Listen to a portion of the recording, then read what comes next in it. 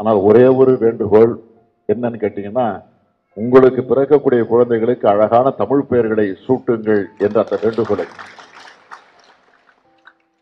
இதை சொல்றப்போ ஓம் பேர் நான் தமிழ் பேரா? அப்படின்னு என்ன பார்த்து கேட்கலாம். ஆனால் நான் பிறந்தப்போ ஸ்டாலின் ரஷ்ய நாட்டில் மறைந்தார் என்ற செய்தி வந்துச்சு.